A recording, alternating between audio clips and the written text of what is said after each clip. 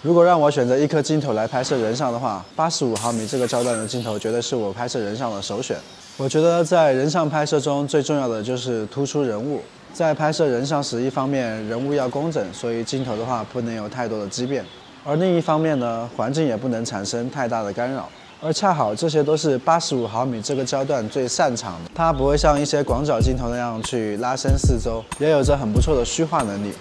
即使在稍微杂乱的环境当中，也可以让主体脱颖而出。简而言之啊，八十五毫米这个焦段呢，就是能够让你随手一拍就能获得一张还不错的照片。正因为八十五毫米是一个经典的焦段，所以市面上八十五毫米焦段的镜头选择也比较多。那大家该如何去选择呢？那如果你需要的是一颗不仅可以拍摄人像，还可以拍摄多种不同题材的镜头的话，你不妨来了解一下这款拥有微距一比一放大倍率，同时带有移轴功能的国产镜头——原时星八五 f 二点八。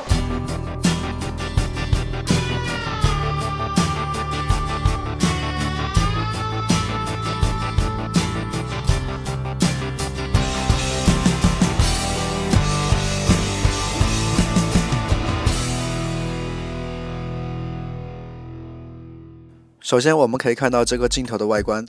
全金属的材质让它上手会有一些分量和不错的手感。镜头底部有三个按键，分别是调节旋钮、限位环锁定键和倾斜结构锁定旋钮。在使用倾斜功能时，先将锁定旋钮打开，可以用手直接扭动镜头前端，也可以通过调节旋钮进行更细致的调整。在限位环锁定键开启的情况下，镜头前端可以三百六十度旋转。这个功能可以让镜头在任意角度进行倾斜。将此按键锁定时，镜头前端将固定，避免误触。先说说这款镜头的移轴功能，在产品拍摄时，为了获得主体前后都清晰的照片，通常会缩小光圈来实现。这样的话，前期拍摄需要充足的光线。另外一种方法呢，就是保持大光圈拍摄，拍摄多张照片，通过软件景深合成。这样操作下来的话，也会获得一个不错的效果，但是整个操作下来会比较繁琐。那这支镜头的移轴功能呢，就轻松的解决了这些问题。通过移动镜头的轴线，能够在一定范围内实现焦平面的改变。同时配合这款镜头的微距功能，让不少珠宝摄影师在实际的商业拍摄中节省了更多的时间成本。